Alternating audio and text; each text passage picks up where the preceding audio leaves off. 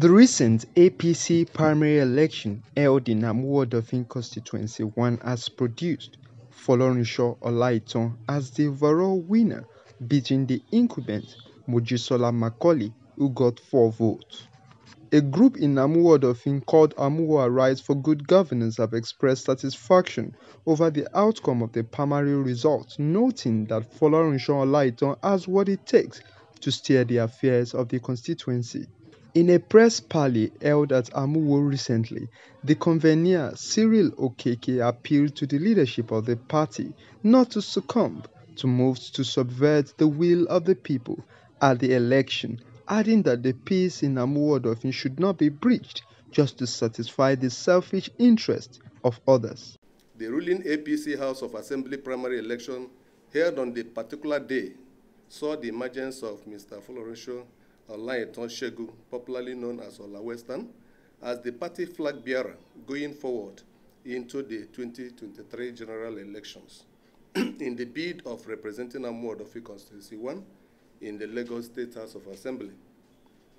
In the, keen in the keenly contested election, which drew up five aspirants to be voted for by 20 delegates, Mr. Folorunsho Olaitan Shegu emerged the winner in, land, in landslide, defeating the incumbent Honorable Mojisola Ali Macaulay and the three others.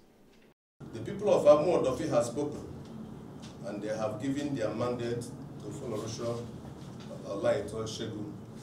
It is therefore beats one imagination that nobody would want to make attempt to change the result that INEC has already officially declared as alleged in some quarters.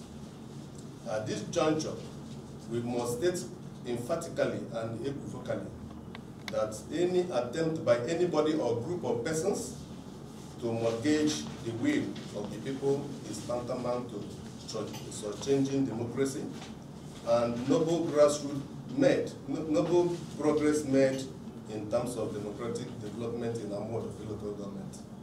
Such evil move will, however, be vehemently resisted.